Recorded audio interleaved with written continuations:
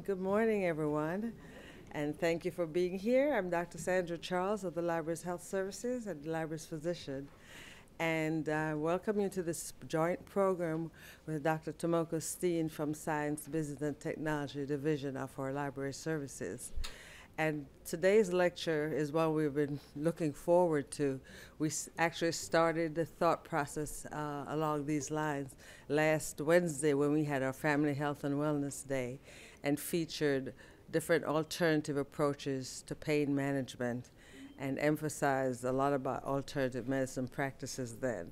So this is very timely and it's in sync with our theme, which I think will continue for some time, being that pain management and alternative medicine are such topical items. So we have with us today Dr. Hakima Amri from Georgetown University, and um, she will be leading us along and guiding us and giving us all the various options as well as the latest in the light of alternative and complementary medicine. And, you know, as a physician, we uh, generally, at least the, the traditional schools are trained in uh, traditional practices but um, complementary and alternative medicine definitely uh, over the past i'd say 10 20 years maybe even longer have captured the imagination and rightly so of many uh, people who are having different ailments and um, so much so that nih has been conducting certain uh, research into different practices, and certain ones, such as acupuncture, have become mainstream and actually covered by many of our insurance plans. So it is not a fly by night. Any of you who grew up outside of the city know that there have been many practices um, that were used when you had a cut or an ailment or a bump on the head. And um, myself, having grown up in the islands, I always thought it was fascinating. If you had a really bad bump on your head, they would give you some super sweet sugar and water to drink.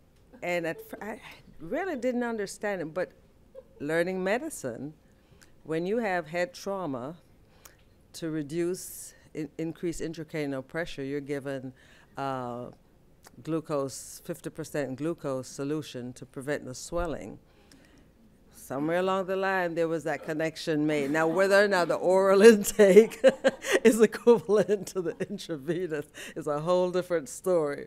But nonetheless, it was going along those lines. And of course, there are many teas and, and, and salves and lotions that were used then. So it's always been a fascination and something that we're open to. And I think 21st century medicine is a combination of traditional and um, complementary and alternative medicine, hence the term integrative medicine. So I'm going to ask Dr. Steen to introduce our speaker, and then we'll sit back and um, get to learn something. So thank you so much for being here.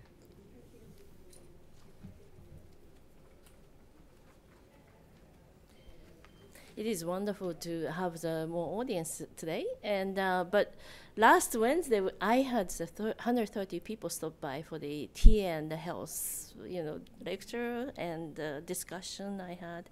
We had many tables of, um, you know, thinking about how to manage pain and uh, health in general. So, so um, I'm so delighted to have my dear friend and uh, expert in the field, Professor Hakima Amari, coming and she is a professor at the Department of Biochemistry and uh, Cellular Molecular Biology and the Division of Integrative Physiology. That's the department she is in.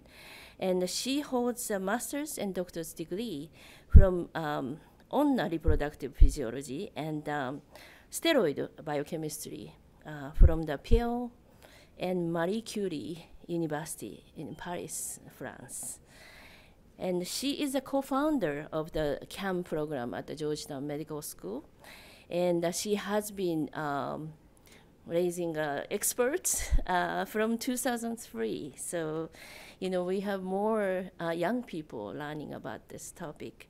And her approach is scientifically approaching, uh, you know, traditional medicine and how to assess them and that's a wonderful, you know, her ba- background is biochemistry, so this is a wonderful way of the doing it. And we have some books uh, from, um, you know, my division and uh, my colleague Ashley Kaffir uh, picked up, and uh, that's include a book just published by uh, uh, Professor Amari, and so that is focusing on Greco-Arabic medicine, is it? Yeah, and uh, linking the 21st century biomedicine to Hippocrates and Avicenna. Maybe I'm pronouncing wrong. anyway, um, before further ado, please join me welcoming Professor Amari.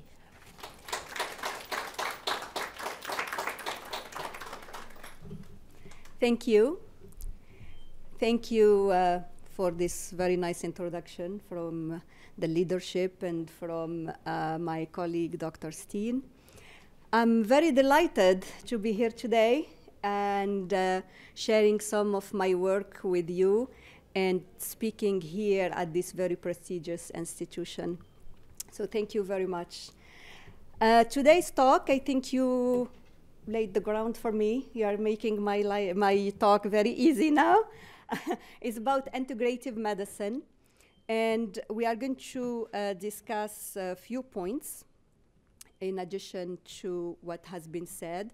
Actually, I was going to say, I wish I were here for the tea party, the real tea party uh, from last week. Um, so today we are going to uh, talk about um, complementary and alternative medicine and integrative medicine, define that field of medicine, review the history of integrative medicine. We try to do that very briefly so we have more time for discussion. Uh, we are going to examine the role of integrative medicine in the management of chronic diseases. I think that's the focus of uh, uh, this month or this week uh, topics here at the Library of Congress. And then discuss its emerging role in uh, healthcare. We will try to save uh, time for questions and answers. Okay, so let's start by the first point here, which is defining complementary and alternative medicine, uh, alternative medicine and integrative medicine. Here you are noticing already that's a, a, mouthful actually. So how are we going to define this uh, complementary alternative medicine and integrative medicine?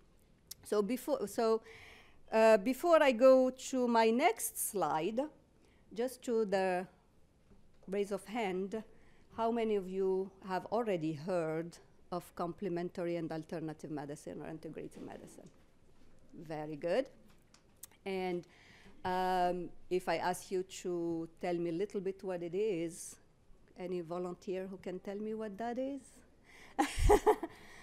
yeah? Okay. I don't mean to put anybody on the spot, but uh, just to be interactive.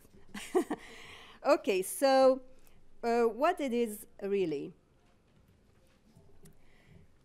The definition is very simple. And I always get that look on my students' uh, faces when I say, okay, the definition is simple, because they don't expect it. Complementary and alternative medicine as the therapies that are not usually taught in medical schools. That's all.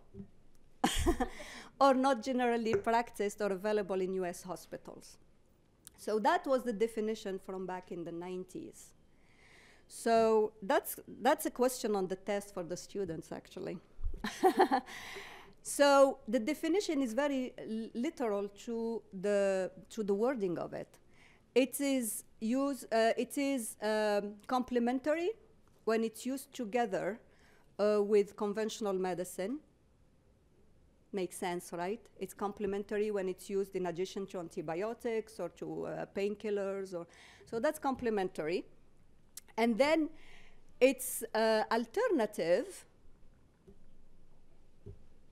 because it's an alternative. It's used instead of the other medicine. So instead of taking a blood thinner, for example, the patient will start taking ginkgo biloba, for example, right? Which is known as a blood thinner. So that's alternative. We don't want that to happen. So, and it is integrative when it's uh, basically used together with um, when it's combined to uh, conventional medicine. But those therapies that are combined to call it integrative medicine have to be supported by science. So that's when it's integrative. So basically, as uh, it was mentioned before, acupuncture has been studied a lot for the past now 20 years, and science has shown that acupuncture works for pain, pain management. So now acupuncture is incorporated uh, in the medical treatment for pain, for example. It is reimbursed by many uh, health insurance companies, so that's a real integration. Acupuncture is supported by the evidence, by the science. Are we clear on that? If we are clear on that, we can proceed. if you have questions, we can, I can go through that again. Okay? Clear. Okay, so these are the basic definitions. And the latest consensus that uh, to define really this field came from the National Center for Complementary and Alternative Health, which is a center at the National Institutes of Health. And uh, I want you to keep in mind that that's the authority on all published, uh, on the science behind integrative medicine. So if you have a question about any aspect of integrative medicine, go to the NIH uh, website and specifically the National Center for Complementary and Integrative Health. That's the authority. So their definition, quote, uh, the National Center of Complementary and Integrative Health generally uses the term complementary health approaches when we discuss practices and products of non-mainstream origin. We use integrative health when we talk about incorporating complementary approaches into mainstream health, and these complementary approaches are the ones that have been supported by science. Okay? So that's their definition. And um, that's what has been actually put out there, and that's what uh, the people fo- should follow the scientists, the, the educators, the private organizations, and all that. So they divide integrative medicine into different fe- into different categories or different domains, and there are five domains for integrative medicine. The biologically based therapies or practices, and that's when you are using herbs. How many of you are using just supplements, herbs for health? Mm-hmm. Yeah. So these are the biologically based practices. Herbal products fall under that category. Mind body medicine practices or mind body medicine. How many of you are doing MBSR or yoga or, yeah? These practices fall under the mind body medicine. Energy medicine, uh, that's where it gets a little bit murky. no, I'm just, I'm just saying that because energy medicine depends who you are talking to, but here we are talking about energy medicine like uh, biofeedback, Tai Chi, Qigong, where they really, these practices call on the inner energy of the body to heal itself. Um, and then manipulati- manipulative and body-based practices, and those are, how many of you go to see an osteopath or a chiropractor, massage therapist? Yes. So these are the uh, manipulative and body-based practices. Osteopathy, chiropractic care, massage therapy, where they basically manipulate the body. And then you see under that circle the whole medical systems. That's the fifth category. The, uh, the whole medical systems are those medical systems that are used by 80% of the population on the planet. Um, and those are traditional Chinese medicine, it's a system. Ayurveda is a medical system. Uh, Unani medicine or Greco Arabic medicine is a medical system. So the people around the globe are using these other medical systems, and they're part of their health care. In China, for example, you walk into a hospital and you have the conventional medicine, what we call, call by our definition conventional, which is conventional um, which is maybe unconventional in other countries. So you can, you can uh, see the conventional physicians, and next door is the, um, the traditional practitioners in the same institution. So it's really integrated into the medical system, uh, sorry, into the medical healthcare system. It's the same thing in India. So in India, you have the conventional medical system, which is similar to ours here in the US.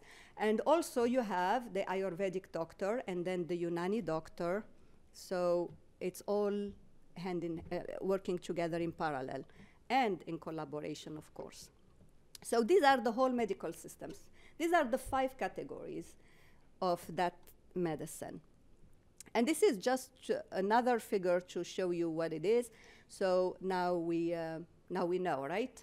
So it's uh, uh, practices like uh, yoga, massage, chiropractic, all those.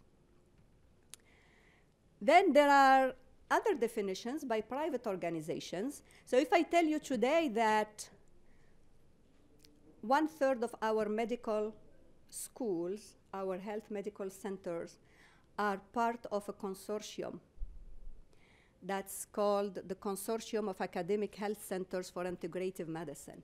So we have what? We have about 150 medical schools. Over 70, about now 70 of those medical schools are part of that consortium. The consortium includes all the 17 medical schools in Canada and the medical school in Mexico, Guadalajara University Medical School, is part of that consortium. So, and they define, they took the lead on that, and the consortium is really very active. And um, you can check also their website. They have a lot of information there. And they define integrative medicine as follows it's the practice of medicine that reaffirms the importance of the relationship between practitioner and patient. Very important. Focuses on the whole person, is informed by evidence, and makes use of all appropriate therapeutic approaches, healthcare professionals, and disciplines to achieve optimal health and healing. Optimal health and healing. Very important. We will come back to that. So that's the definition by the consortium. Now, uh, any questions so far on that first section? Okay.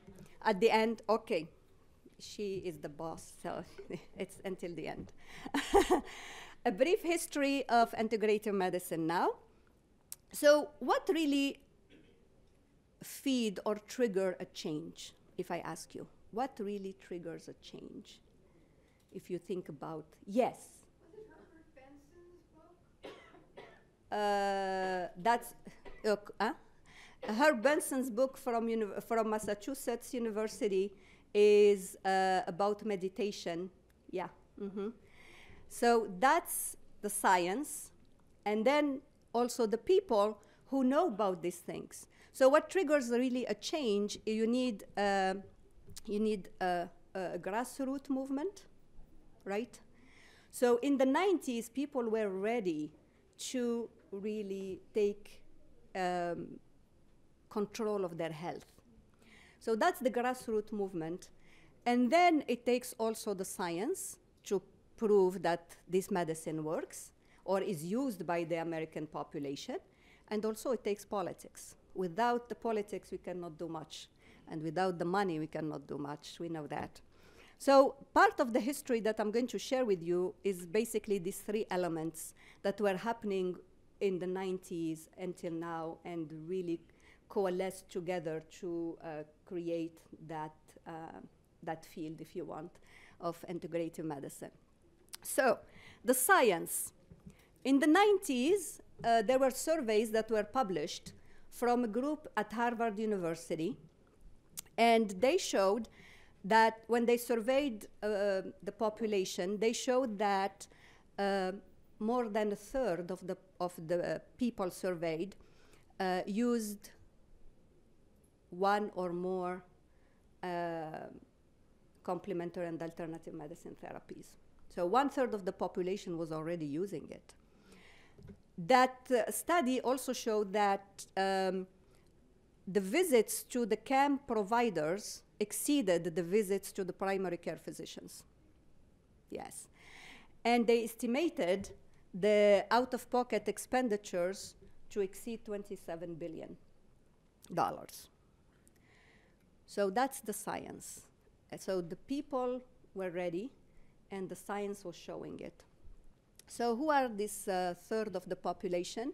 It's uh, mainly the segment um between 50 and 70 years old. They are the most who have been using these practices. But you, you can see, I mean, it goes, uh, it's all different segments of the population. So here, yeah. And if you look at that was published in the 90s, so uh, when you look at this segment of the population, it's basically the baby boomers who wanted to take charge of their health. Okay. Um, then it continues to, these studies also showed that um, these people didn't necessarily reject conventional medicine, but they found it really congruent with their beliefs and with their philosophies uh, towards health and uh, life. The, the, one of the major points also that were shown in this paper is that 40% of, less than 40% of the CAM therapies used were uh, disclosed to a physician. So the patients were going to their physicians and not telling them of what they were doing. And even today, I think many patients are not disclosing what they're doing with their primary care physicians. And that's where the danger, the danger lies. Lays, sorry. It's that if the patient is taking, um, as I mentioned before, blood thinners, and in addition, they are thinking that ginkgo biloba is good for them because it, it improves uh, memory and blood circulation. They are adding on top of the blood thinner another element that might, might cause problems. And that's why it's very important to know, or uh, very important that the patient disclose this information with their practitioners. But back then in the 90s, there was no training whatsoever of our physicians on these things.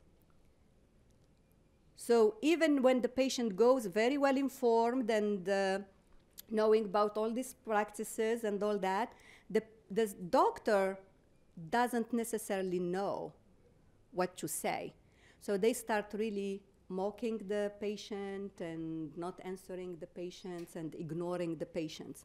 And that created a big issue in the patient, in the doctor-patient, you know, satisfaction um, outcomes. Okay, so that's just to show you in uh, in uh, diagrams uh, who are those uh, who answered yes or no to uh, who who uh, reported to the practitioner to the practitioner or not their use of uh, these therapies and um, how they heard about it. So you can see here that um, the patients are the ones who talk about it most. They know they are very informed, and um, very. It's only 20%, around 25% they hear about it from a practitioner. So as I said, our physicians are not trained in this field, at least until a few years ago. So that's the science. Now the politics. you need the politics to make things happen. So in October of 1991, the US Congress passed uh, legislation that provided $2 million in funding uh, to establish an office at the National Institutes of Health to investigate and evaluate promising and conventional medical practices. So $2 million sounds a lot, right? No, for research and for do it's nothing, right? So they started. It start at least it started somewhere, and uh, they created the Office of Alternative Medicine uh, back then, and they gave them this two million dollars. when you think that the budget for the National Cancer Institute is in the trillions, so this is really nothing, right? So, and this was facilitated by Senator Harkin from uh, Iowa, who was instrumental. He was the chair of the appropriation committee back then, and he had a very good experience using bee pollen for his allergies. So he was like, okay, let's try it. Do you see when the politics meet the science? um, so that's how it started. He took bee pollen and it worked for him. He has been suffering of allergies for many, many years. It's like, okay, let's study it. Let's, let, let's go to NIH and see if we can bring the evidence to that. So that's what happened at NIH after uh, the Office of Alternative Medicine start, uh, was opened or launched in 1991. Then a few years later, it changed from an office to a center, which is already good progress. And it was called the National Center for Complementary and Alternative for many years. And then they started acting as a center. They created a council, advisory council, and they started uh, giving grants out and uh, doing research and all that. And um, and they, in 2007, their clinical center, you know that NIH has a, a, hospital that runs protocols and they see patients and all that. So they started this integrative medicine consult at the medical center. And Dr. Berger is the one leading that. Um, so at NIH, they are giving some of these therapies. People don't know about that. NIH is giving some of those therapies inside NIH. And um, in 2015, the, the center changed name because the word alternative is not really a good fit for this medicine. We don't want anything alternative to our conventional med medicine. We want complementary, we want integration, but no alternatives. So the name changed to the National Center for Complementary and Integrative Health in 2015. Um, see, this is just uh, uh, to give you an idea about what's going on. So they do a lot of research at NIH in the, their intramural labs through their intramural funding, and they are studying pain, um, pain and natural products. Uh, the, there is a new director who just joined uh, this January of 2019.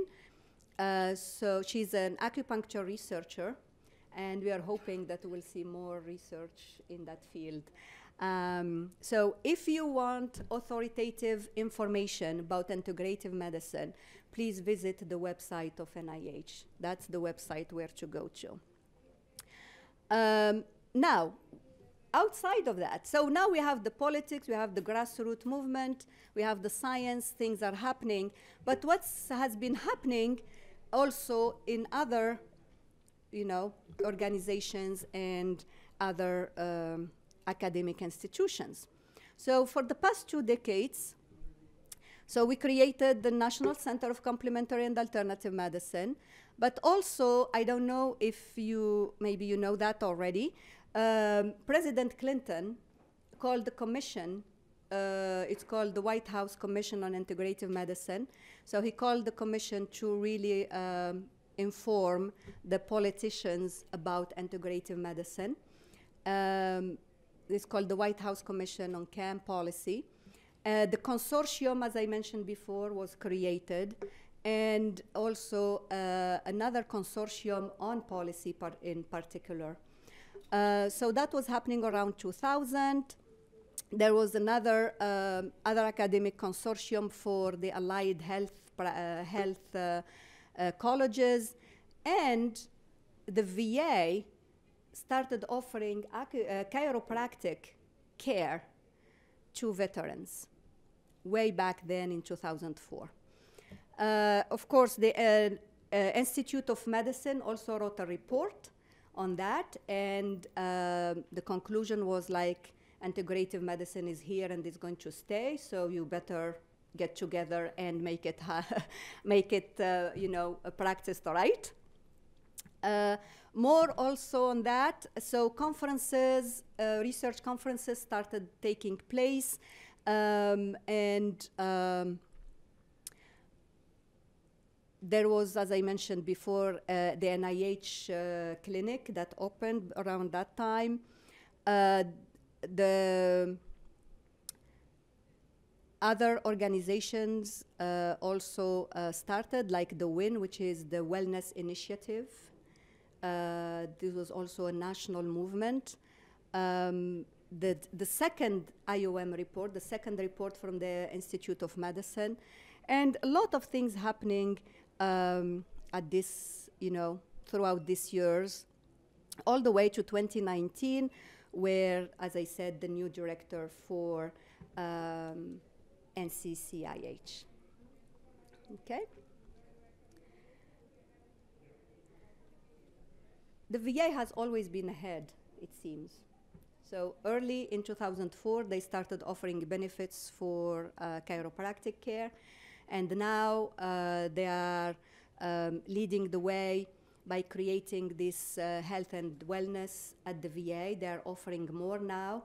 Uh, acupuncture, they have battlefield. They developed actually a protocol called the battlefield acupuncture that's offered on the battlefield uh, to manage pain and yeah so they are really ahead of, of, of the game and they are really working on this model where um, on this model where the patient is at the, at the center. That's me the patient. And then it's um, the patient should take care of his or her health um, take care that you know really be in charge of their health. Um, so self-care then professional care. They think that the community the, the workplace should be also favorable to develop the, you know to have this wellness and of course the community it's very important to have family support and community support for better health so they are trying to develop this uh, model, which I think the way I teach it to my students, it's called the biopsychosocial model of health. And I, I mean, I have been following this movement now for the past 20 years, being, you know, really in the middle of it. We are moving from the biological model to um, the biopsychosocial model, which is more comprehensive.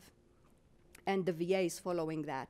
So the other the other player in this uh, are the hospitals, and um, there was a survey that was sent to uh, many hospitals around uh, 2000, um, um, t- 2010, and they were asking if uh, they have any integrative medicine uh, practice in the hospital. So. Um, in 1998, only 8% of our hospitals were offering one or more of these CAM modalities.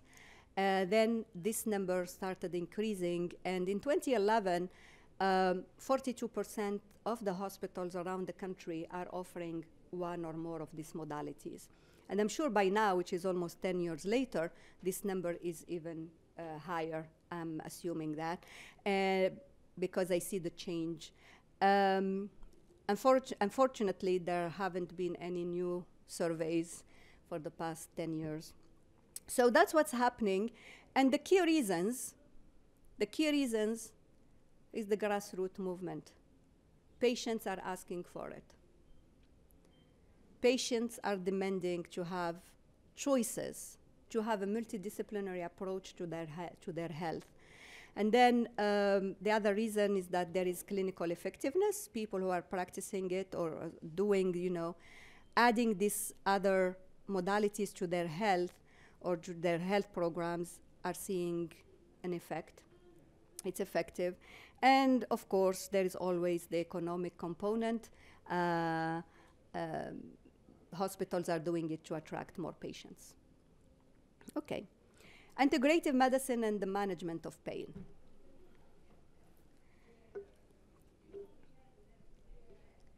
Chronic diseases is a big issue in this country. Um, six in 10 adults in the US have a chronic disease, and four in 10 adults in the US have two or more of them. And this has been really an issue for our country.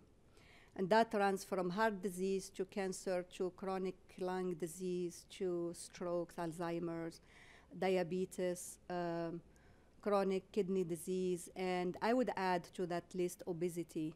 Obesity is also a big issue in our country. Um, so here, this graph shows the years lived with disability, that's in 2013 in the United States by cause and age. These are the age segments, and here it's the percentage of years lived in less than ideal health. So people who are living with moving around in some kind, all kinds of illness of, of illnesses.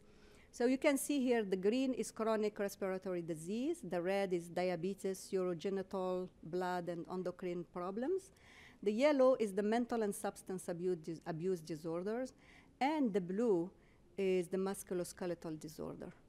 The pain, basically, the lower back pain, the shoulder pain, the osteo osteoarthritic pain. So these are the musculoskeletal diseases.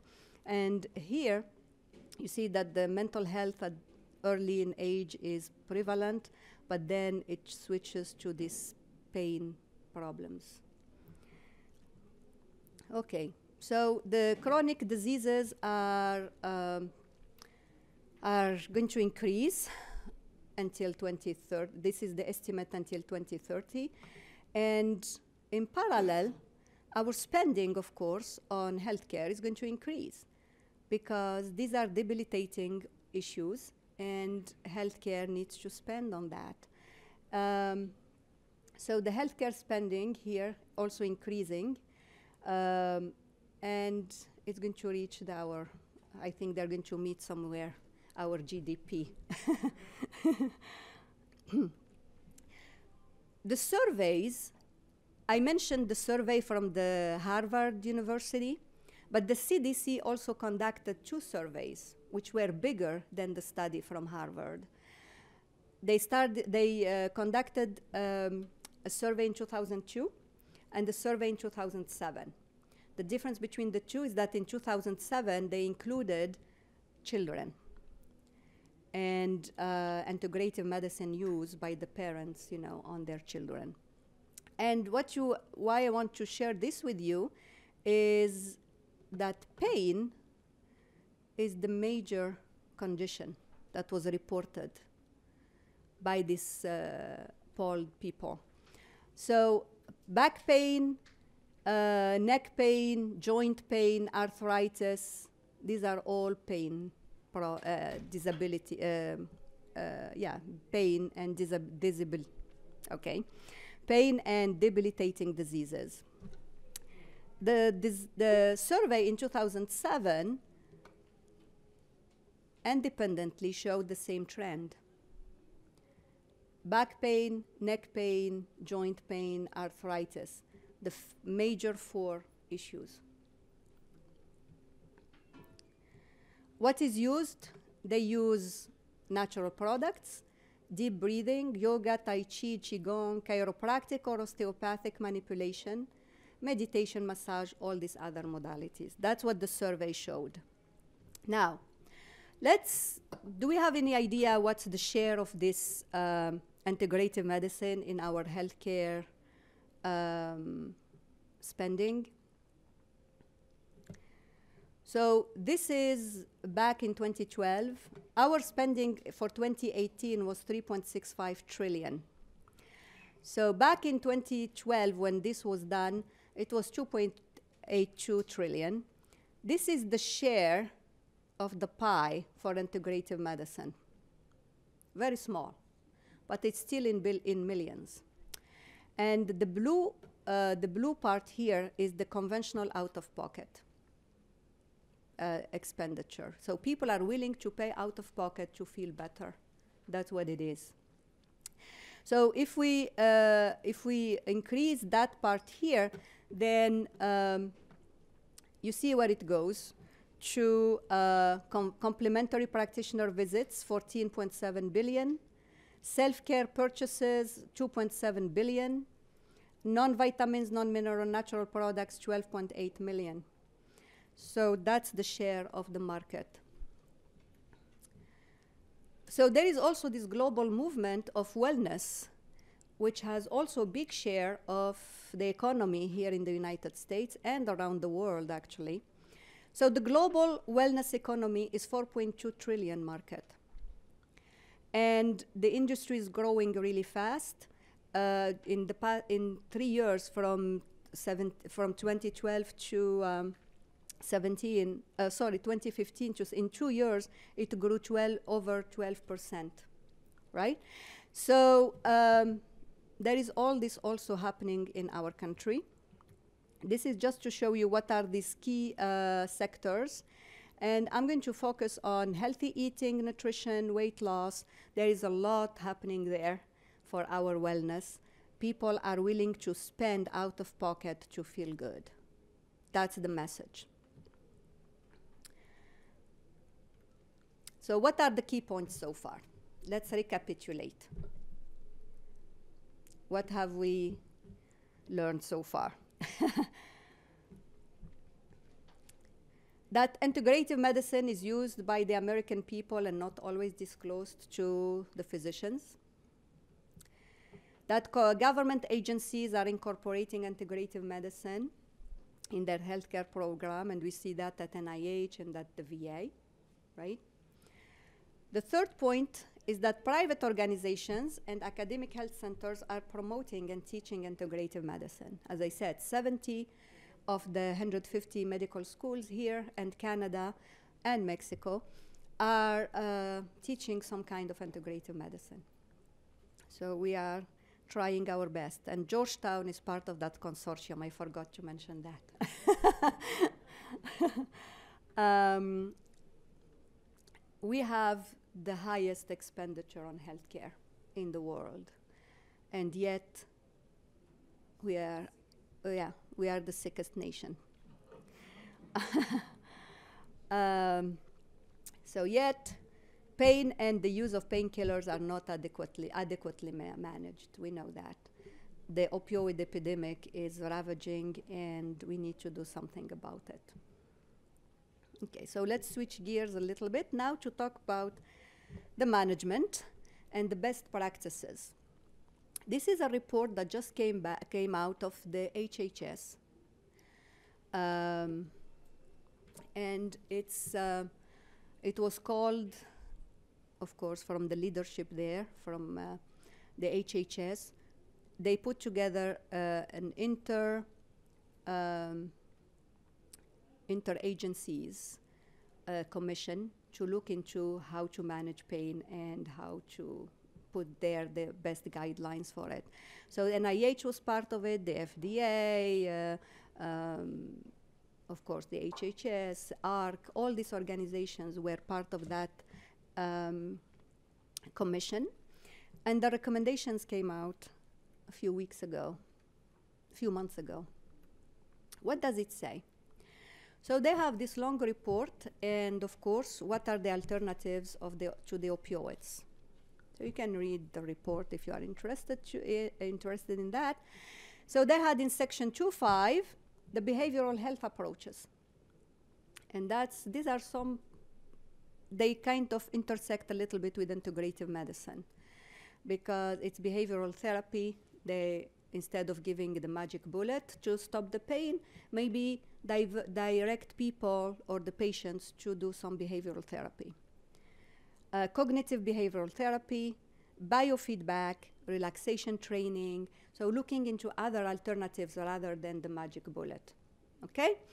Now, section 2.6, they have a section 2.6 on complementary and alternative medicine and integrative medicine, and they list acupuncture, massage and manipulative therapies, mind body stress reduction, yoga, tai chi. So they're listing some of those modalities, which is great, right? So it's under the it's under the radar for the HHS. The way it was uh, written, though, is like, yeah, they are there, they exist, but more research is needed. More proof that they work is needed. So basically, that's how it has been for the past 20 years. we need more research, we need more research. Although there are so many studies that have been showing that these modalities are working. Okay. Now, um, what is the evidence? We talked about acupuncture. Acupuncture has been shown in many, many studies that it's that is efficient in reducing post surgical uh, pain when they compare it to sham acupuncture, when they compare it to other controls, and it's also uh, effective in reducing the side effects of opioids, reducing the intake of opioids and the side effects from op- opioids. So this has been studied and, and shown that, uh, that acupuncture is effective in acute pain, even in the emergency department. When people go with these shooting pains, you know, to the extremities, and they have been managed with the acupuncture in the emergency department.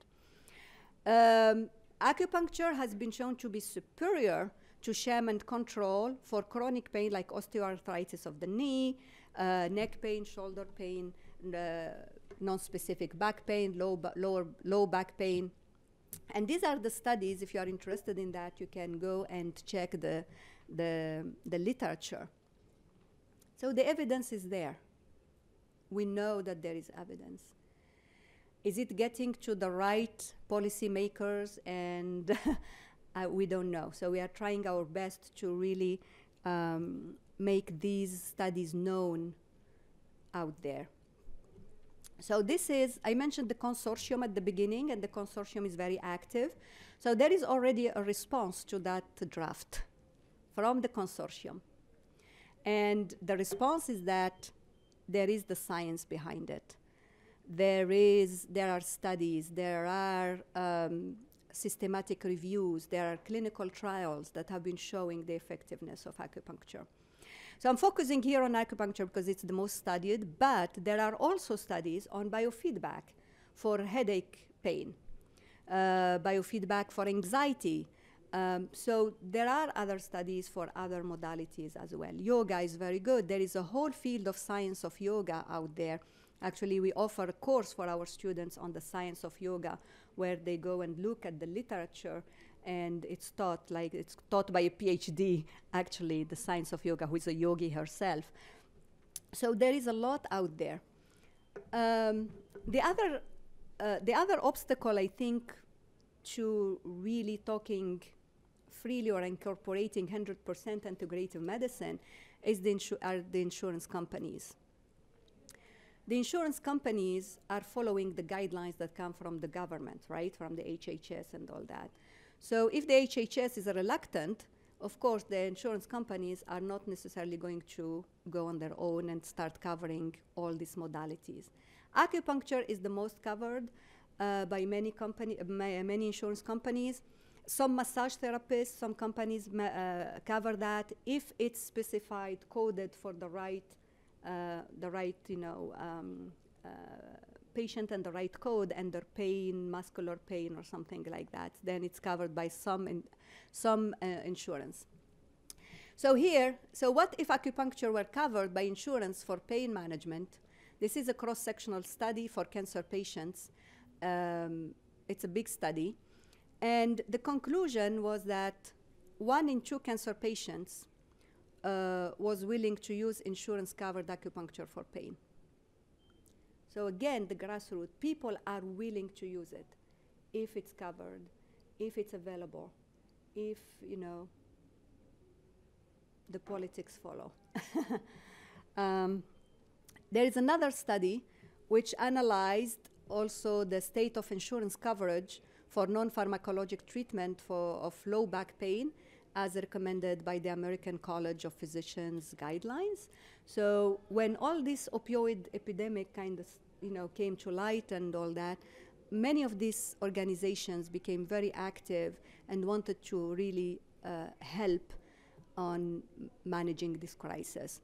So the American College of Physicians came out with, with a number of guidelines on how to, to do it, but nothing was taken into consideration. Now it has been few years and nothing has been happening. So um, what's what what are their conclusions is that essential health benefits are routinely excluding non-pharmacological therapies. So they still believe that the magic bullet works better. We don't necessarily send the patients to anxiety management or to behavioral therapy, or we don't do that. Uh, insurance coverage discourages multidisciplinary therapies for chronic pain. And of course, they make their guidelines so ambiguous that, nobody, that nobody can read or understand what they cover and what they don't cover. And they have uh, many restrictions on ongoing complementary therapies. This is um, what we need is really to have enlightened EHB coverage to really help alleviate this opioid crisis. So we need to be very active and bring our two cents to the table each time whenever we have the the occasion to do it. What is, what is the take home message? Integrative medicine considers the body as a whole unit and not as independent parts. So it's true we are the most sophisticated machine. We have the we are the body is the most incredible machine one can design. Um, and the way we have been really looking at that body is in parts. If if you have chest pain, you go to a cardiologist. If you have knee pain, you go to a rheumatologist. If you have, I don't know, diabetes, you go to an endocrinologist. So we kind of divided the body into different these different parts. But in fact, the heart could be affected by the mind. it's that easy. We need to treat the mind that the, so the heart can feel better. So we need to think of um, of the body as a unit, and that's what I mentioned earlier the biopsychosocial model where all the components should work together. I designed I designed this model a couple years ago. It's a, uh, I adapted it from uh, the HHS services and so the patient should be at the center. It doesn't matter, I think, it does, that's my opinion. It doesn't matter which therapy you are going to get or who is which practitioner, as long as these doctors are, are putting you at the center. You are the center of focus, and the main goal is to make you feel better. You are at the center of this model. And then you have the MD, you have the osteopath, you have the chiropractor, you have the naturopath helping. What we need to do with our healthcare system is move from this very siloed medicine to a comprehensive integrated medicine where the patient is at the center and then all the physicians and the practitioners and the allied health uh, providers are working together to make you, the patient, us, the patients, to make us feel better, and we are the center of their focus. That's what we want. And uh, maybe we will get there one day. In conclusion, integrative medicine offers a multidisciplinary patient centered approach to treatment by focusing on the mind and the body together. Uh, it promotes complementary modalities in addition to pharmacological. So, integrative medicine, what I want you to really keep in mind is not to reject our conventional medicine, is to integrate it to our conventional medicine. And please um, don't think that if it's natural, it's, it's safe. That's the biggest mistake. Natural doesn't mean safe as I mentioned, ginkgo biloba, which is natural, is not necessarily safe if you are taking other drugs because the drug herb interaction could be really detrimental. So these are the the mess these are the two messages today, take home messages. So the other thing is integrative medicine treatments have been shown to be cost effective and there are a few studies on the cost effectiveness of these therapies with insurance with the insurance uh, coverage, and they are way cheaper. Uh, we need to teach integrative medicine in medical schools. I think we got to a point where we want to go to an informed physician who can make informed decision about the referrals where to send you.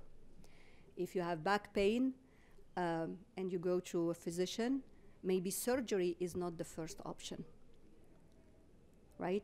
Maybe you need to ask your physician, okay, let's do some imaging to remove all kind, you know, of other issues. But if it's musculoskeletal or, or, or as, as it is the most, I mean, as it is the case in many patients, let's maybe go to other, explore other options before we go to surgery.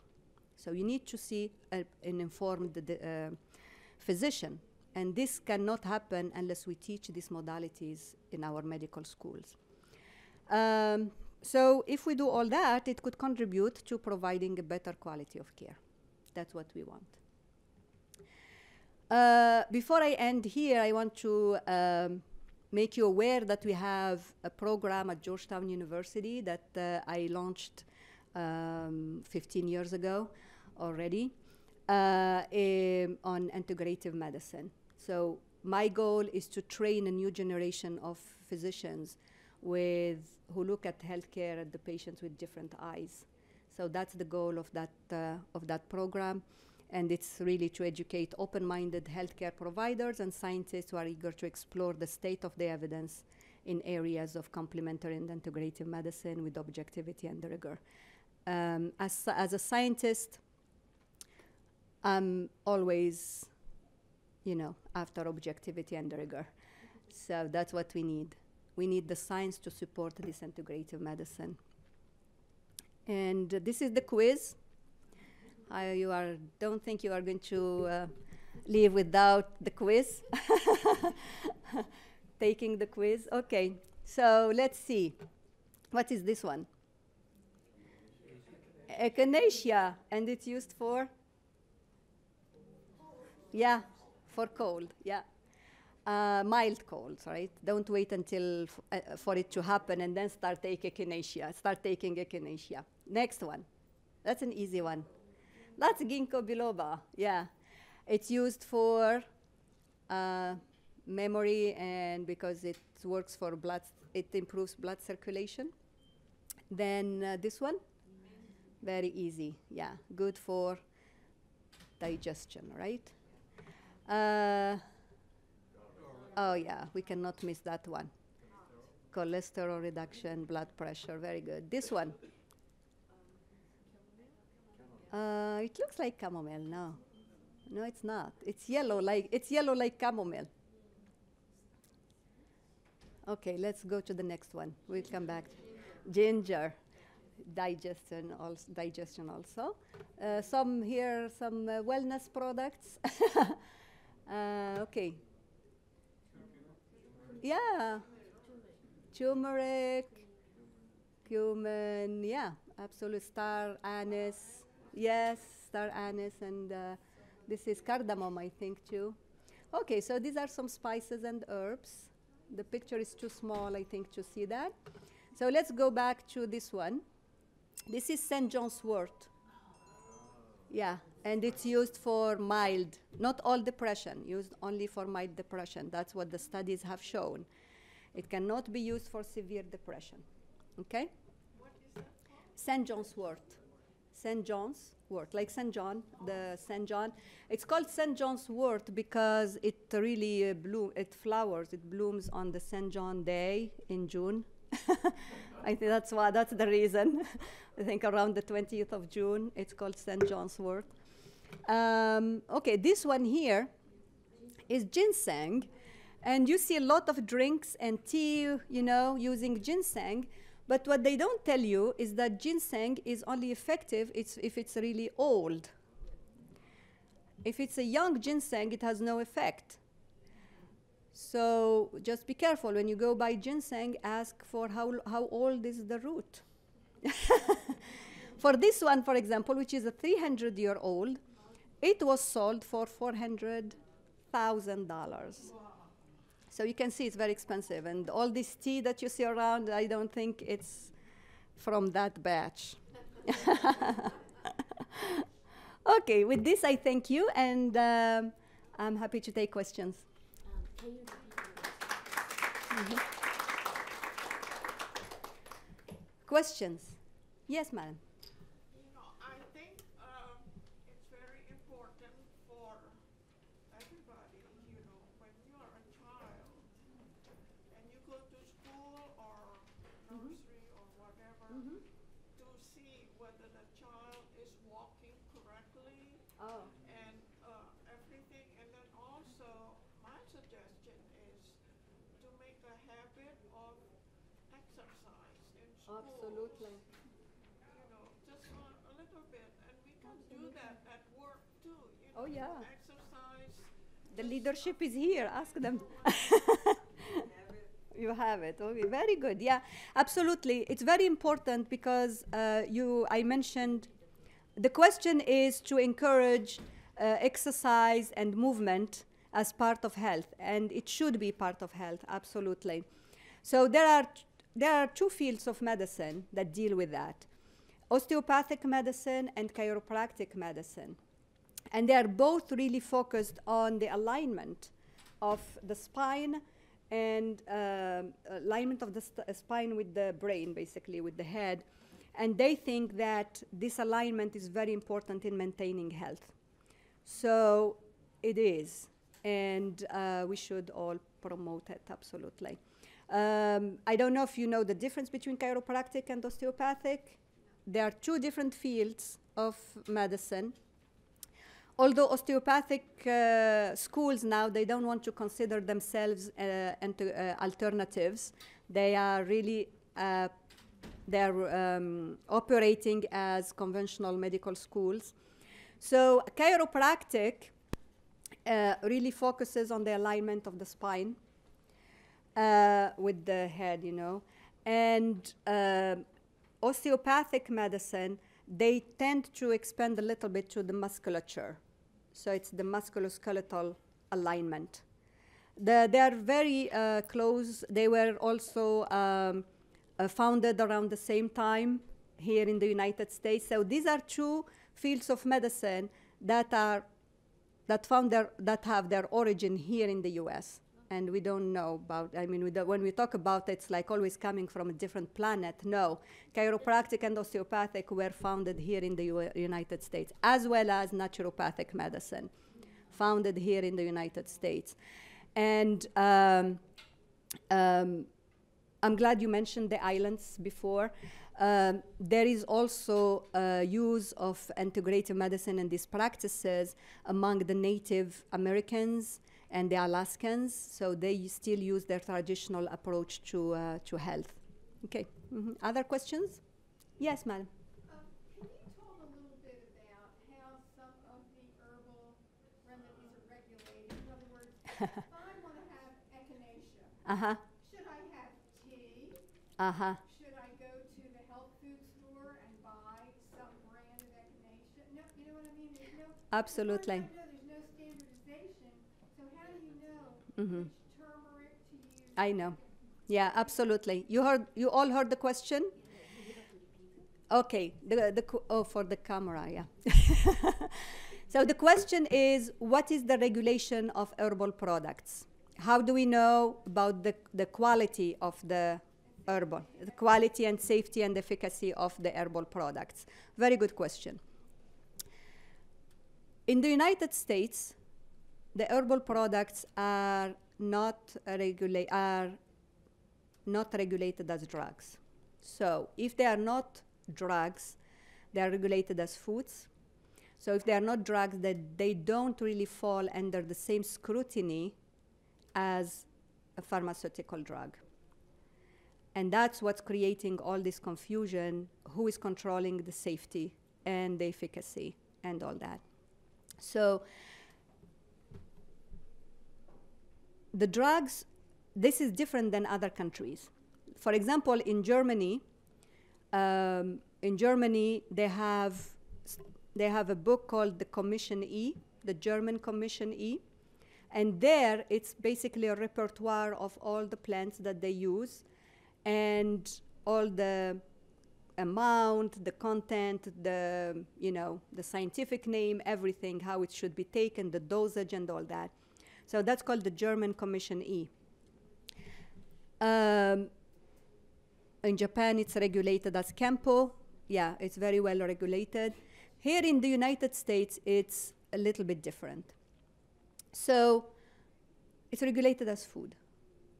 And um, there is a regulation that went through um, uh, the regulatory bodies called the DSHEA.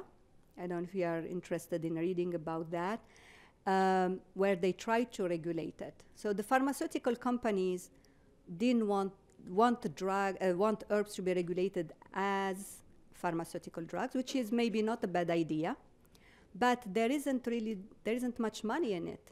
The pharmaceutical drugs are surviving because I mean surviving. They're making a lot of money uh, because any compound they create, they patent it and they make a lot of money out of that patent.